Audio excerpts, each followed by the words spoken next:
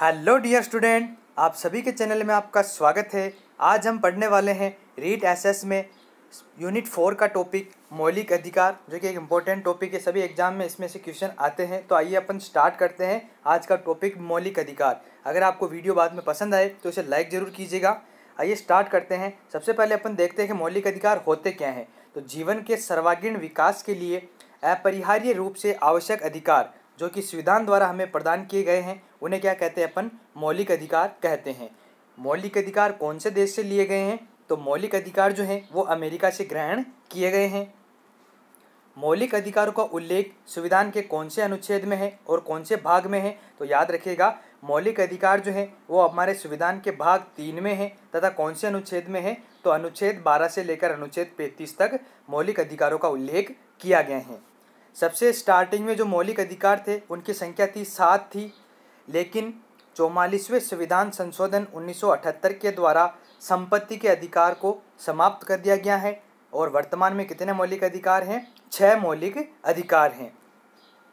वर्तमान में जो संपत्ति का अधिकार है, ये एक विधिक या कानूनी अधिकार है, जो कि अनुच्छेद 300 कै में वर्णित हैं। याद रखना, मूलतः मौलिक अधिकार की संख्या सात थी, लेकिन 1978 के द्वारा, चौवालीसवें संविधान संशोधन के द्वारा संपत्ति के अधिकार को समाप्त करके उसे विधिक या कानूनी अधिकार बना दिया गया है, जिसके कारण वर्तमान में मौलिक अधिकारों की संख्या कितनी है? छः हैं। और जो ये संपत्ति का अधिकार है, ये वर्तमान में एक विधिक या कानूनी अधिकार है, जो अनुच्छेद 300 कै में वर्णित हैं। फिर इसके बाद आता है, संविधान सभा ने किसकी अध्यक्षता में एक परामर्श समिति का गठन किया था? तो संविधान सभा ने सरदार पटेल की अध्यक्षता में एक परामर्श समिति का गठन किया था और बाद में जे बी कृपलानी की अध्यक्षता में मूल अधिकारों पर एक उप समिति का गठन किया गया था। ये परामर्श समिति और उप समिति की सिफारिशों के आधार पर ही संविधान में मौलिक अधिकारों को शामिल किया गया था। फिर आइए अपन आगे देखते हैं कि अनुच्छेद 12 और 13 में क्या है। तो अनुच्छेद 12 और 13 में तो मौलिक अधिकारों की सामान्य रूपरेखा वर्णित है कि वो किस प्रकार होंगे, उनका क्या रूपरेखा वर्णित होगी तो 12 और 13 में तो मौलिक अधिकारों की सामान्य रूपरेखा वर्णित की गई हैं। अब आप देखिए कि विदेशियों को कौन कौन से मौलिक अधिकार प्राप्त हैं। तो अनुच्छेद चौदह, बीस, इक्कीस, बाईस, तेईस, चौबीस, पच्चीस और छब्बीस, सत्ताईस, अट्ठाईस, ये मौलिक अधिकार जो हैं, ये विदेशियों को भी प्राप्त हैं। अब अपन देखते हैं प्रमुख मौलिक अधिकार कौन कौन से हैं। इसकी शॉर्ट ट्रिक आप याद रखना मौलिक अधिकारों को याद करने की। समता को स्वतंत्रता प्राप्त हुई, शोषण से धर्म, संस्कृति और संवैधानिक उपचार द्वारा। तो ये मौलिक अधिकार छः हैं। समता का अधिकार अनुच्छेद चौदह से अठारह तक, स्वतंत्रता का अधिकार अनुच्छेद उन्नीस से बाईस तक, शोषण के विरुद्ध अधिकार अनुच्छेद तेईस से चौबीस तक, धर्म का अधिकार मतलब धार्मिक स्वतंत्रता का अधिकार अनुच्छेद पच्चीस से अट्ठाईस तक, फिर इसके बाद आएगा संस्कृति और शिक्षा का अधिकार उनतीस से तीस तक, और संवैधानिक उपचार का अधिकार अनुच्छेद बत्तीस से तैतीस तक। तो ये शॉर्ट ट्रिक याद रखना, समता को स्वतंत्रता प्राप्त हुई शोषण से धर्म, संस्कृति और संवैधानिक उपचार द्वारा। तो समता का अधिकार कौन से अनुच्छेद में वर्णित है? चौदह से अठारह तक में है। समता का अधिकार फिर है स्वतंत्रता का अधिकार उन्नीस से बाईस। शोषण के विरुद्ध है अधिकार तेईस से चौबीस। धार्मिक स्वतंत्रता का अधिकार है पच्चीस से अट्ठाईस। और संस्कृति और शिक्षा संबंधी अधिकार है उनतीस से तीस। और संवैधानिक उपचारों के अधिकार को भीमराव अंबेडकर ने कहा था। अनुच्छेद बत्तीस वाले अधिकार को संविधान की आत्मा कहा था। तो आइए अपन डिटेल में अब इसको स्टार्ट करते हैं। समता का अधिकार का उल्लेख संविधान के कौन से अनुच्छेद में है? अनुच्छेद चौदह से अठारह में। अनुच्छेद चौदह में क्या वर्णित है? समानता और कानून के समान संरक्षण की व्यवस्था। अर्थात जो कानून है, वो सभी के लिए एक समान है। तो अनुच्छेद चौदह में क्या है? समानता और कानून के समान संरक्षण की व्यवस्था। फिर अनुच्छेद पंद्रह में है, धर्म, जाति, मूल वंश, लिंग या जन्म स्थान के आधार पर किसी से भेदभाव नहीं होगा। ये कौन से अनुच्छेद में वर्णित है? अनुच्छेद पंद्रह में, समता के अधिकार के अंतर्गत। फिर अनुच्छेद सोलह में है, लोक नियोजन में अवसर की समानता प्रदान की जाएगी। सभी को नौकरी में समान अवसर दिया जाएगा। तो लोक नियोजन में अवसर की समानता है अनुच्छेद सोलह में। अनुच्छेद सत्रह में अस्पृश्यता और छुआछूत का अंत है। तो छुआछूत का खतरा अनुच्छेद सत्रह। याद रखना, अनुच्छेद सत्रह में क्या है? छुआछूत व अस्पृश्यता का अंत। तो छुआछूत का खतरा, अनुच्छेद सत्रह। फिर आता है, अनुच्छेद अठारह में क्या है? तो अनुच्छेद अठारह में है उपाधियों का अंत। सरकार द्वारा सिर्फ़ सेना या विद्या संबंधी सम्मान ही दिया जाएगा। विदेशों से उपाधि लेने से पहले राष्ट्रपति की स्वीकृति, राष्ट्रपति की स्वीकृति आवश्यक होती है। तो ये हो गया समता का अधिकार, चौदह से अट्ठारह के बीच।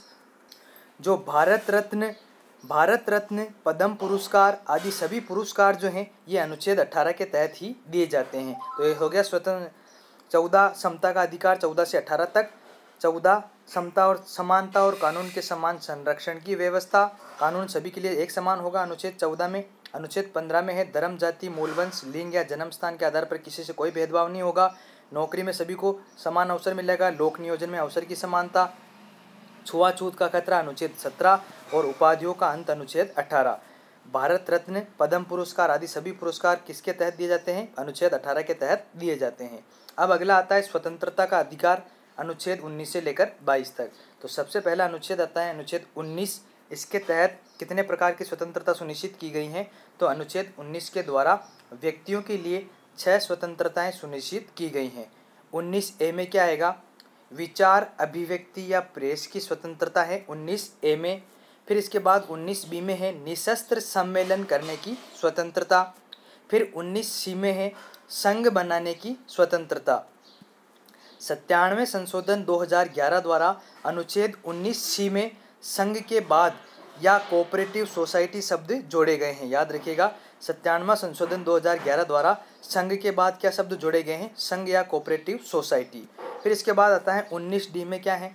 भारत में कहीं भी सर्वत्र भ्रमण की स्वतंत्रता है।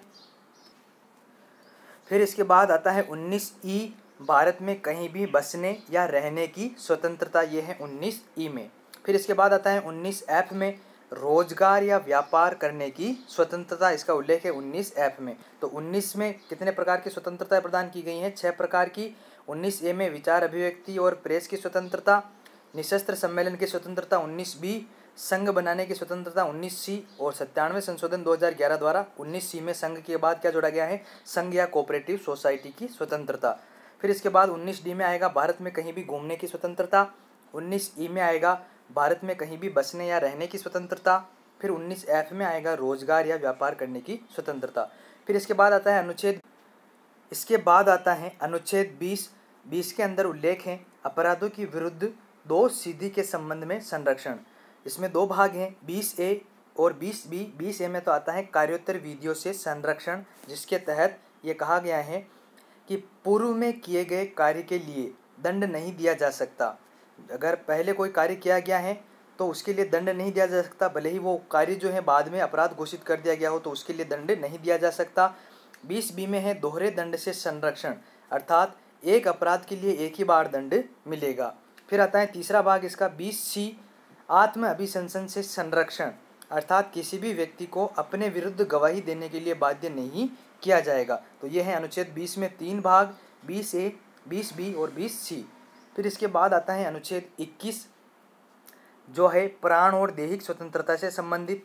अनुच्छेद इक्कीस में कौन सा अधिकार है? प्राण और दैहिक स्वतंत्रता का अधिकार, जिसे जीने का अधिकार भी कहते हैं। फिर इसके बाद आता है अनुच्छेद इक्कीस कै, जो कि शिक्षा का अधिकार है। और ये कब जोड़ा गया था? छियासीवें संविधान संशोधन 2002 के द्वारा जोड़ा गया है अनुच्छेद इक्कीस कै। और ये लागू कब से हुआ है? एक अप्रैल 2010 से लागू हुआ है शिक्षा का अधिकार, जिसके तहत राज्य को छः से चौदह साल तक के सभी बच्चों को निःशुल्क और अनिवार्य शिक्षा उपलब्ध करानी होगी। फिर आता है अनुच्छेद बाईस, जिसके तहत गिरफ्तारी के विरुद्ध अधिकार दिए गए हैं कि किसी भी व्यक्ति को बिना कारण बताए गिरफ़्तार नहीं किया जा सकता। किसी बंदी व्यक्ति को 24 घंटे के अंदर मजिस्ट्रेट के सामने पेश किया जाएगा। बंदी को अपने बचाव के लिए वकील से परामर्श का अधिकार होगा। ये गिरफ्तारी के विरुद्ध अधिकार दिए गए अनुच्छेद बाईस के अंतर्गत।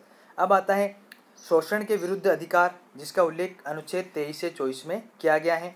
अनुच्छेद तो तेईस में वर्णित है, मानव दुर्व्यापार और बेगारी का निषेध। तो इस शॉर्ट में याद रखें, अनुच्छेद तेईस में क्या है? तेईस रुपये में बेगारी अनुच्छेद चौबीस में आता है, चौदह वर्ष से कम आयु के बच्चों को कारखानों या अन्य जोखिम वाले कार्यों में नहीं लगाया जा सकता, अर्थात बाल श्रम पर रोक लगाई गई है अनुच्छेद चौबीस के तहत। तो याद रखें, चौबीस रुपये में बाल मजदूरी, शोषण के विरुद्ध अधिकार में कौन से अनुच्छेद हैं? तेईस और चौबीस। तो तेईस में तो आएगा तेईस रुपये में बेगारी, चौबीस रुपये में बाल मजदूरी।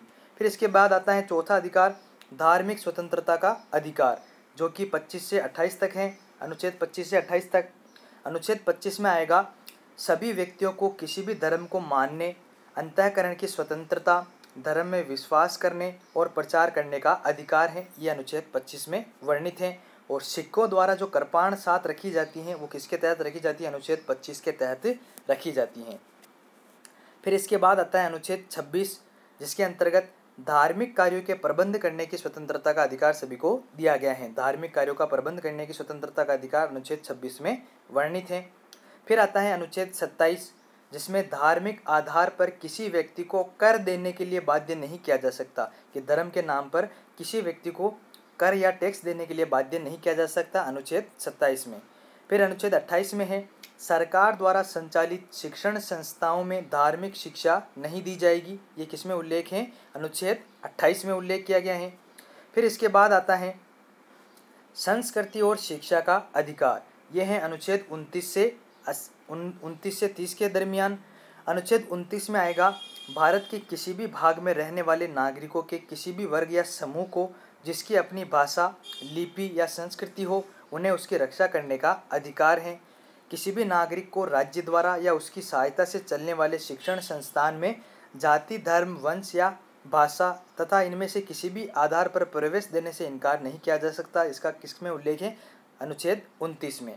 फिर इसके बाद आता है अनुच्छेद तीस में कि सभी अल्पसंख्यकों को अपनी इच्छा के अनुसार शिक्षण संस्थाओं की स्थापना और उनका प्रबंध करने का अधिकार है। ये इसमें वर्णित है अनुच्छेद तीस में। फिर इसके बाद आता है संवैधानिक उपचारों का अधिकार, अनुच्छेद बत्तीस से तैतीस। अनुच्छेद बत्तीस में कहा गया है कि मौलिक अधिकारों का हनन होने पर उन्हें पुनः लागू करने के लिए सर्वोच्च न्यायालय कुछ आदेश जारी कर सकता है। मौलिक अधिकारों को पुनः लागू करने की शक्ति किसके पास है? तो याद रखना इंपॉर्टेंट क्वेश्चन एग्ज़ाम में आया हुआ है कि मौलिक अधिकारों को पुनः लागू करने की शक्ति सुप्रीम कोर्ट और हाई कोर्ट दोनों को प्राप्त है। अनुच्छेद 32 द्वारा अधिकारों को पुनः लागू करवाने के लिए सर्वोच्च न्यायालय पाँच प्रकार के आदेश जारी करता है। याद रखना, जबकि हाईकोर्ट कौन से अनुच्छेद के तहत जारी करता है आदेश? 226 के तहत। याद रखना, सर्वोच्च न्यायालय किस अनुच्छेद द्वारा अधिकारों को पुनः लागू करवाने के लिए पाँच प्रकार के आदेश जारी करता है? तो बत्तीस द्वारा और हाई कोर्ट 226 के तहत पाँच प्रकार के आदेश जारी करता है। पाँच प्रकार के आदेश कौन कौन से हैं? सबसे पहले आता है बंदी प्रत्यक्षीकरण। इसमें क्या आता है? बंदी को प्रत्यक्ष रूप से पेश किया जाता है। अवैध रूप से बंदी बनाए गए व्यक्ति को न्यायालय के सामने पेश करवाने के लिए जो जारी आदेश होता है, उसे कहते हैं बंदी प्रत्यक्षीकरण। फिर आता है परमादेश। किसी सार्वजनिक अधिकारी को कर्तव्य पालन के लिए जो आदेश दिया जाता है, वो कहलाता है परमादेश। फिर इसके बाद आता है उत्प्रेषण। उत्प्रेषण क्या होता है? मामले को आगे भेजना। जैसे किसी कार्रवाई अगर अधीनस्थ न्यायालय में चल रही है तो उसे उच्च न्यायालय में भेजने की प्रक्रिया क्या कहलाती है? उत्प्रेषण कहलाती हैं। फिर आता है प्रतिषेध। इसका अर्थ होता है रोकना। किसी अधीनस्थ न्यायालय में चल रही किसी कार्रवाई को रोकने के लिए जो आदेश जारी किया जाता है, उसे कह लेते हैं प्रतिषेध कहते हैं। फिर आता है अधिकार प्रच्छा। कि अवैध रूप से अगर कोई व्यक्ति किसी पद पर बना हुआ है तो उससे पूछना कि वह किस अधिकार से उस पद पर बना हुआ है तो वो कहलाता है अधिकार प्रच्छा। फिर इसके बाद आता है मौलिक अधिकारों की प्रकृति कैसी होती है तो मौलिक अधिकारों का हनन होने पर उसे सुप्रीम कोर्ट और हाई कोर्ट दोनों द्वारा पुनः लागू किया जा सकता है। मौलिक अधिकारों की रक्षक संस्था कौन सी है? सुप्रीम कोर्ट और हाई कोर्ट दोनों हैं और मौलिक अधिकारों को संसद द्वारा संशोधित किया जा सकता है। अगर आपका आपातकाल लग जाए तो आपातकाल के दौरान मौलिक अधिकारों पर क्या प्रभाव पड़ेगा? तो मौलिक अधिकार में अनुच्छेद तीन सौ बावन जो है, आपातकाल में, राष्ट्रपति द्वारा आपातकाल की घोषणा किए जाने पर अनुच्छेद उन्नीस के तहत जो स्वतंत्रता के अधिकार प्रदान किए गए हैं, वो सभी स्वतंत्रताएँ स्वतः ही निलंबित हो जाएगी। फिर अनुच्छेद तीन सौ उनसठ में वर्णित हैं। चौवालीसवें संशोधन 1978 के तहत अनुच्छेद 20 और 21 में प्रदत्त अधिकारों को आपातकाल के दौरान भी निलंबित नहीं किया जा सकता। अपराधों के विरुद्ध दो सिद्धि के संबंध में संरक्षण प्रदान है, अनुच्छेद बीस में और इक्कीस में है। जीने का अधिकार, इनको आपातकाल के दौरान भी निलंबित नहीं किया जा सकता। फिर इसके बाद आता है, अनुच्छेद तीन के द्वारा राष्ट्रपति आपातकाल के दौरान यह घोषणा कर सकता है कि जब तक आपातकाल की घोषणा बनी रहेगी, तब तक मूल अधिकार निलंबित रहेंगे। अब आप देखिए, मौलिक अधिकारों के संबंध में सर्वोच्च न्यायालय द्वारा समय समय पर कौन कौन से निर्णय दिए गए? सबसे पहले आया था गोलकनाथ, बनाम पंजाब राज्य वाद 1967 में, जिसमें सुप्रीम कोर्ट द्वारा निर्णय दिया गया था कि संसद जो है मूल अधिकारों में संशोधन नहीं कर सकती। फिर आया था केशवानंद, बनाम केरल राज्यवाद जिसमें निर्णय दिया गया था कि संसद को मूल अधिकारों में संशोधन का अधिकार है, लेकिन संसद इसके मूल ढांचे को नहीं बदल सकती। फिर आया था मिनरवा मिल्स बनाम भारत संघ 1980 में। इसमें न्यायालय द्वारा मूल अधिकारों की सर्वोच्च स्थिति निर्धारित की गई थी। यह आपका टॉपिक हो गया कंप्लीट मौलिक अधिकार। अगर आपको वीडियो पसंद आया तो लाइक ज़रूर कीजिएगा। सब्सक्राइब नहीं किया है तो सब्सक्राइब ज़रूर कीजिएगा। मिलते हैं अगले वीडियो में नए टॉपिक के साथ। जय हिंद, जय भारत।